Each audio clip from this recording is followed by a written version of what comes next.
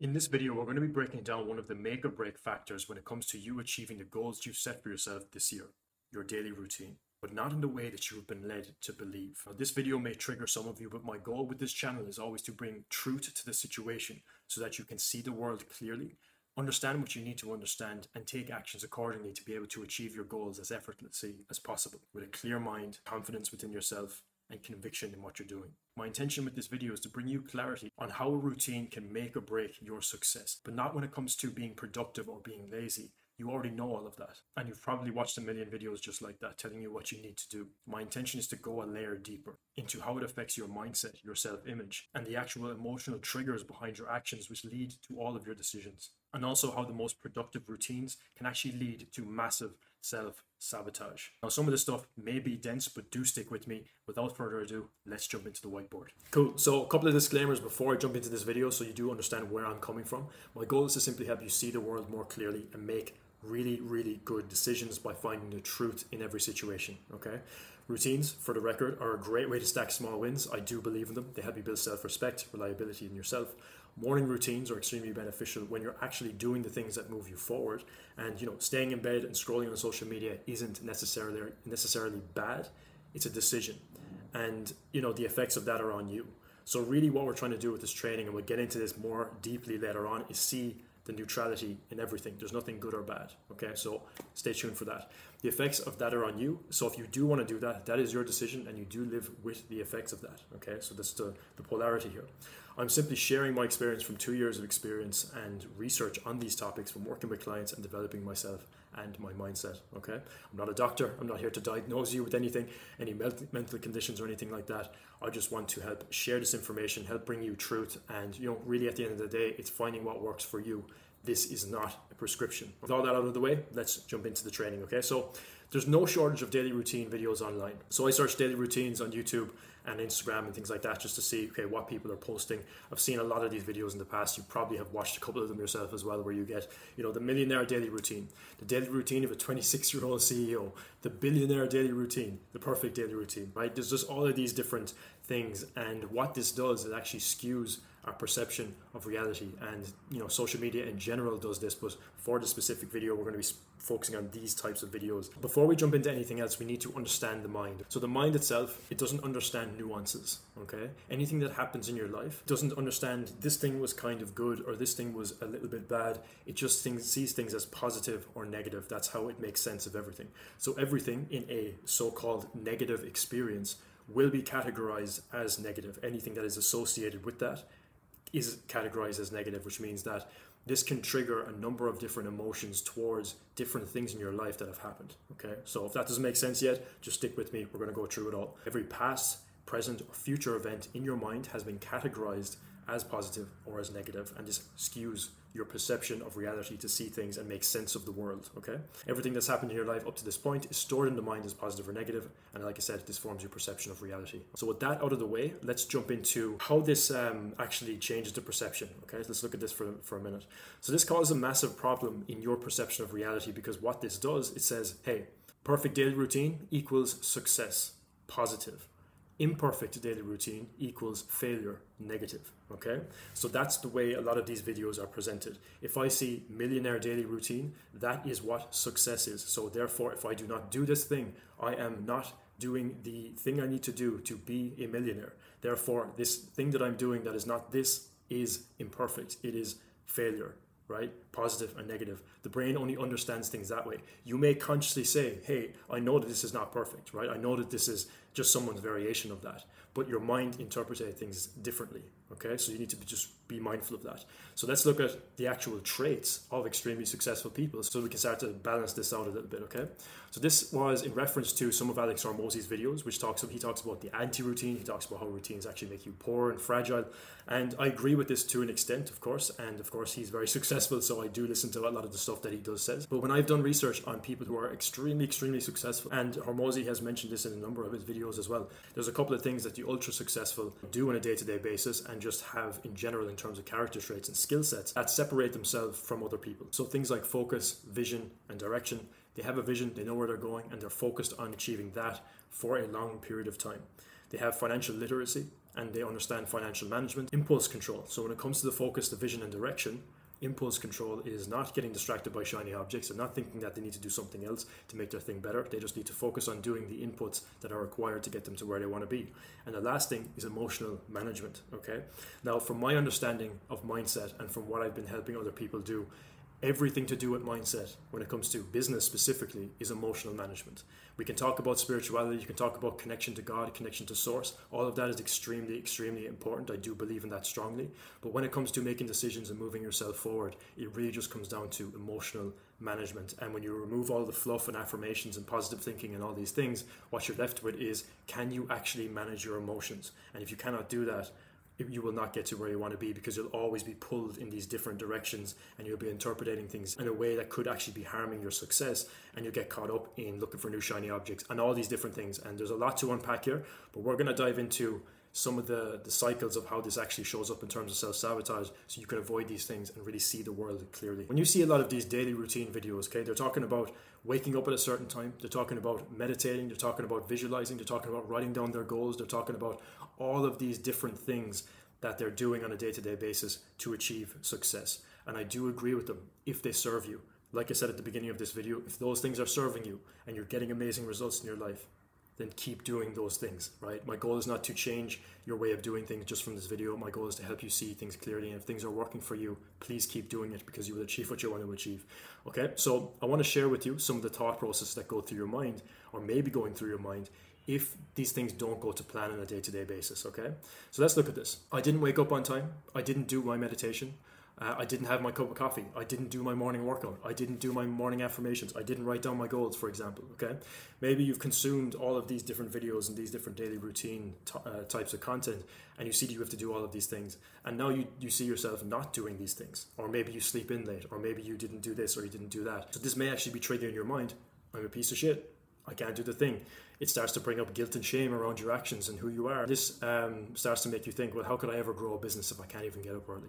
How could I ever grow a business if I can't even be consistent with my meditation? Oh my God, I didn't do my meditation, therefore I can't do the things I need to do right? And it starts this downward spiral, okay?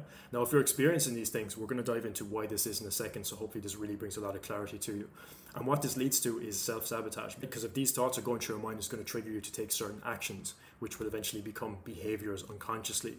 And then this will be like a negative flow and loop that you find yourself stuck in every time these different things happen, okay? Now, of course, this is just an example, but I want to reference it to the, the, the routine stuff so that you can see how this actually works and how we can actually solve this problem. Okay, so when it leads, when this leads to self sabotage, this spirals into other negative emotions. So frustration. Maybe you're frustrated at the fact that you can't do the things that you say you do. Maybe you're frustrated at the fact that all these other people out there have amazing routines and are making multi millions every single year, but you can't even get up on time.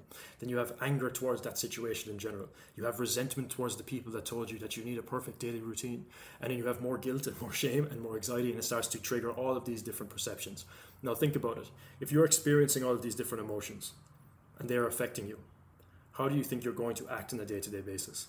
Probably not do the actions that you know you need to take. You're probably not going to be limitless. You're probably not going to be waking up every day and looking forward to doing uh, the things that you have to do in your business, creating content, doing sales, having conversations, you know, refining your product and your, your delivery. You're probably not going to wake up wanting to do those things if you're feeling all of these negative emotions that can come from a variety of different sources. We just picked one here, for example, okay, when it comes to like the routine stuff. So let's look at what's actually happening here. So we got to break down some of these meanings so you can understand this a bit more clearly.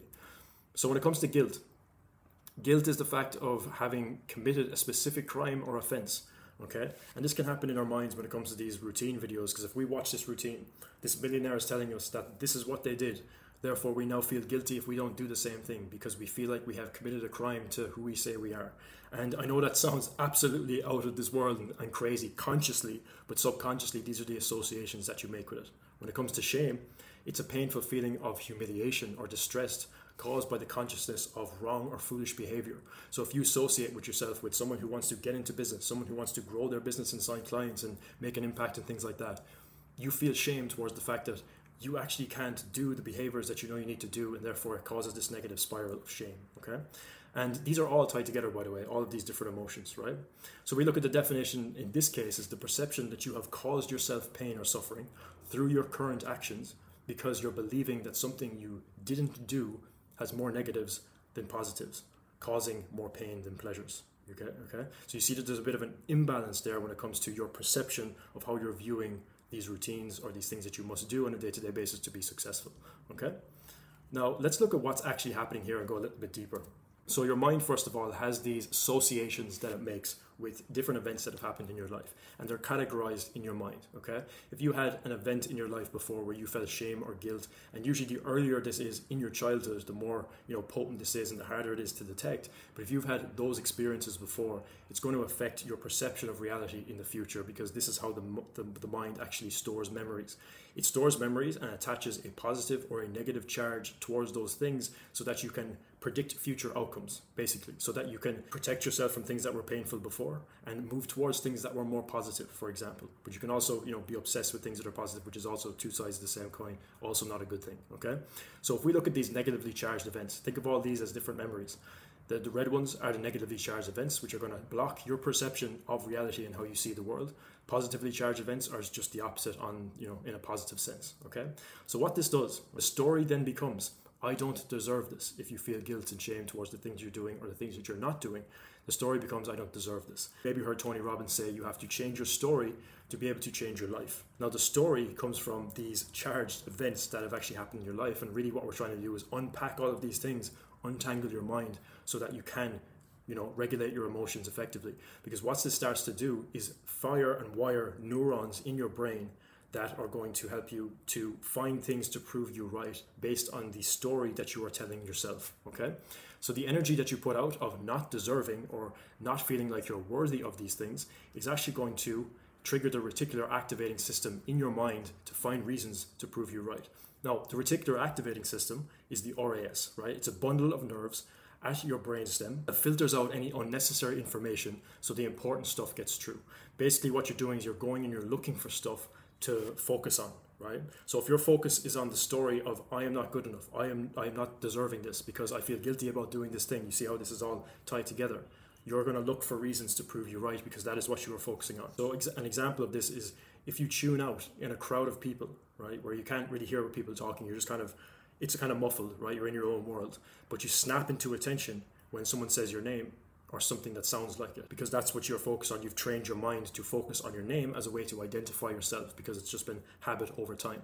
It's the same thing when you're focusing on the story that you have created of, let's say, I don't deserve this. And that's then what you put out into the world, the energy of not deserving, which reaffirms your beliefs. So you, you pick up from everybody around you, from all the things that you do, it all comes back to you as I don't deserve this, and you have proof in your reality. Therefore, you keep believing it, and it keeps reaffirming the same story, and it then forms into who you are, your mindset, and how you perceive the world. Okay. Hopefully, all of this is clicking for you, but let's go a little bit deeper when it comes to the polarity and how we're actually going to solve this. Okay. So, to really understand this, we need to understand the principle of polarity. The principle of polarity means that there is positive and negatives in every single thing that we experience in life okay there's nothing out there that doesn't have positives and negatives at the same time the problem is is that a lot of the time we see that they're only one-sided you see here, for example, let's say we had a negative event here, or you, you got broken up with, and all of those negative emotions that you know were triggering inside of you. It's unlikely that you went off and you started to see the positives in that straight away. You probably saw all the negatives in it, and that is like a negatively charged event in your mind, which is going to fog your perception of reality. But if you were to really dive in, dive in and look for that, there's a lot of positives that come from that kind type of situation. Such as now you have the opportunity to find somebody who is better. Maybe there's things that you learn about yourself. Maybe you have more free time. Maybe you have more time to focus on your business. There's all of these different things that come up. But if you really look for everything, there's positives and negatives in everything. And this is how we start to balance out our perception. Because in reality, what we want is clarity and we want confidence as to what is actually happening. Therefore, positive and negative are just two different sides of the same thing. Okay, we have hot and cold, we have bad and good, we have light and dark. One cannot exist without the other. And we can also tie this to the law of relativity. Okay, giving you an example of this, let's say we have someone who is making a million a year and someone who's making 50 grand a year. In relativity to each other, the guy who's making a million a year is richer than the guy who's making 50k a year. See how that works? But in relativity to someone who's making a billion a year, he is rich. Compared to the guy who's making a million a year, he is now quote unquote poor. right? So everything just exists in relativity to each other. So there's nothing that is either too positive or too negative. It's all based on your perception of what you how you see things. So what we're really looking for is clarity and confidence. And when it comes to the routine, how we can tie this all together is that the problem here is that the perception of reality is actually imbalanced. So the worldview is, let's say, waking up early, positive, sleeping in, negative. So therefore, when some, one of these things happen, it triggers guilt, it triggers shame, and then that starts everything that we just discussed here this loop of sabotage and frustration and anger and all of these other resentments that come from this. And when you see things clearly and have confidence that there is nothing either positive or negative, there is just a decision to be made in neutrality at this particular moment in time, then that's when you can actually make clear and concise decisions. But that comes from removing the different limitations in your mind, the different perceptions and frustrations and emotions that are fogging your lens of reality, that are fogging the way that you see things and the way that you actually are perceiving things to be. And when we remove those things, you can make clear and concise decisions that are going to help you move forward. And when you start to remove these things, you start to master your emotions, which means that you are mastering your mindset. You do not have these up and down seasons where things are going really good and then things are going really bad. You can actually start to balance that out as, as much as possible. Not saying it's never going to be up and down, but you can start to balance it out as much as possible and really be able to ride the wave and see things as they truly are neither positive nor negative. So let's tie it all together, right? If we look at, you know, some some key takeaways, morning routines and routines are tools to help you live well, but don't use them as a crutch. They do not determine your success. There's plenty of people out there who do not have any routines and they make millions of dollars, right? The reality is that there's no good or bad. They're just what is. And I want to be able to find the benefits and find the negatives in every situation to see that there is nothing truly good or bad. And the more we can do this with everything in our lives, with past events, with future events, the things that we're going through right now, the more we can see the world clearly. Okay? Use routines to help you to get the right things done. That's what they're there to do. They're a tool. There may be, not saying that there is, but there may be underlying emotions and past events that trigger these feelings that when they're dealt with, you will be able to solve the problem from the root and you'll be able to find a neutrality in all the situations and remove these things that you know stop you from taking the actions that you need to take which is really the thing that is going to stop you from getting the goal that you want where you break it down okay? You can have no millionaire daily routine and still reach your goals if you just do the right inputs if you just do the right things okay? And when we look at Hormozi's mindset a lot of people don't know this but this guy spent nine months every day for nine months 90 minutes a day or a couple of hours a day i'm not sure how much it exactly was clearing his mind and balancing out these perceptions before he ever sold Gym Launch for something like you know 20 or 42 million, right? And this is why when you watch his videos and he's talking about these things, everything is so rock solid and everything is so stoic, and he's able to make incredible decisions. Okay, so I wanted to reference that because I think that's very very important when it comes to mindset. You can look at spirituality, you can look at all these affirmations and things like that. And I have other videos on all of these things that you can dive into. But really, what we're trying to do is manage our emotions so that we can make clear and concise decisions that are going to help steer us in the direction of achieving our goals far faster than we would if we were on this up and down roller coaster of trying to deal with all these different things. If we just remove them, balance them, see the truth, and see the world clearly, we're much more likely to achieve our goals much faster than we would without them. So that brings me to the end of today's training, guys. If you have questions, if there's anything that wasn't clear, drop it in the comments below. If you have any key takeaways, drop them in the comments below. I would love to hear your thoughts. Did this make sense to you? And also, if you haven't joined our community, check out the links below so you can be surrounded by other men on the same journey as you to mastering their mind, building an influential personal brand, and doing the things they know they need to do to be able to get to their, where they want to be. That's what we're all about. And if you're new to the channel, if you want to see more in depth trainings and tools to be able to help you master your mind, master your emotions, be sure to hit the subscribe down below, and I'll catch you in the next video.